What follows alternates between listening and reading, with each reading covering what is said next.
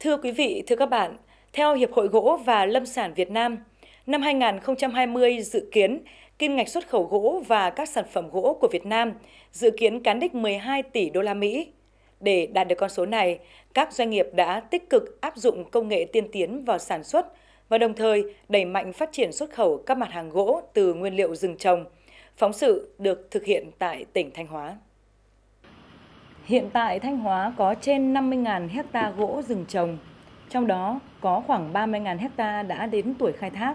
mỗi năm cho sản lượng hơn 3.000 mét khối gỗ, chủ yếu là các loại gỗ trồng là keo và bạch đàn.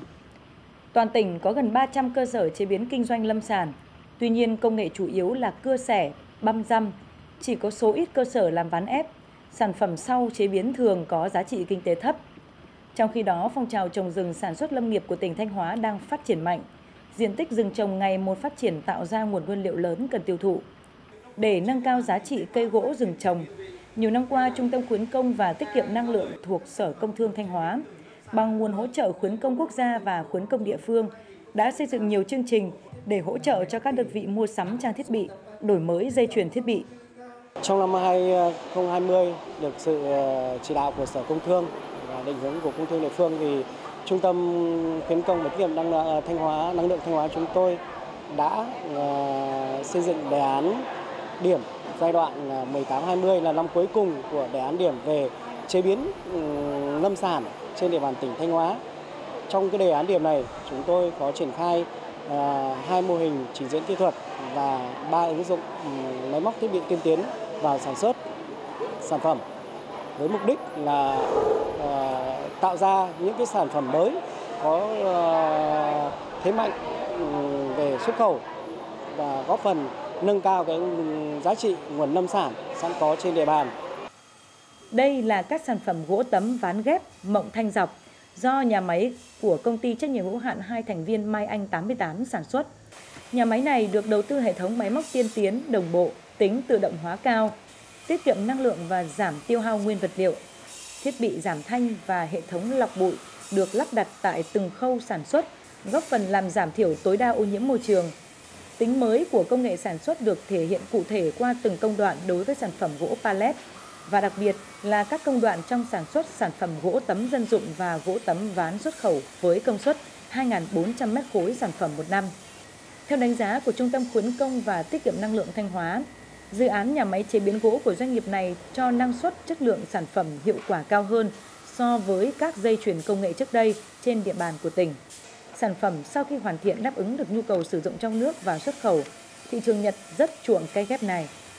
Tôi ờ, đánh giá là cái tiềm năng của cái ngành ghép gỗ ghép thanh này thì đang rất là lớn và thị trường trong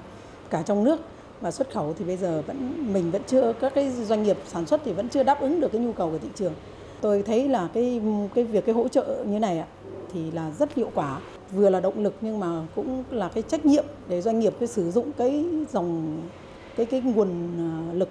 à, hỗ trợ từ nhà nước ấy một cách nó có hiệu quả và nó mang đến một cái gì đấy gọi là có cái tính đổi mới trong cái mô hình sản xuất và đặc biệt là mang đến một cái chất lượng sản phẩm đó. nó phải là à, tốt hơn hẳn. Tỉnh Thanh Hóa khuyến khích các doanh nghiệp đầu tư công nghệ thiết bị chế biến gỗ hiện đại tại các huyện miền núi có diện tích rừng trồng lớn. Các doanh nghiệp đầu tư tại địa phương không chỉ giải quyết đầu ra cho bà con trồng rừng mà còn giải quyết công an việc làm cho các lao động tại địa phương, đồng thời thực hiện tốt công tác an sinh xã hội. Đối với trồng lâm thì à, Hiện nay thì có diện tích tự nhiên là 3.100 ha, trong đó là đất lâm nghiệp là 1.200 ha. Thì hiện nay thì à, đất giao cho các hộ dân à, nhận khoán là 700 ha, còn 500 ha là giao cho lâm trường quản lý. Thì trong quá trình à, phát triển ngành rừng thì hiện nay thì nó có cái phát triển kinh tế đối với các hộ dân trong cái việc mà trồng rừng thì hiện nay là một trong những cái mũi nhọn để cho bà con xóa đói giảm nghèo. Những năm qua Thanh Hóa đã có nhiều chính sách phát triển kinh tế lâm nghiệp. Nhiều mô hình trồng rừng gắn với chế biến có giá trị hàng chục tỷ đồng đang được triển khai ở nhiều địa bàn. Đến nay đã bước đầu hình thành được vùng nguyên liệu tập trung phục vụ cho các nhà máy sản xuất tại chỗ. Cùng với việc phát triển trồng rừng, công nghiệp chế biến gỗ cũng phát triển mạnh với gần 300 cơ sở chế biến gỗ rừng trồng mỗi năm khai thác và tiêu thụ trên 450.000 mét khối gỗ, với tổng doanh thu mỗi năm đạt hàng trăm tỷ đồng, tạo công an việc làm cho hàng ngàn lao động. Những giá trị từ khai thác gỗ rừng trồng đã và đang là một thế mạnh của Thanh Hóa trong phát triển kinh tế.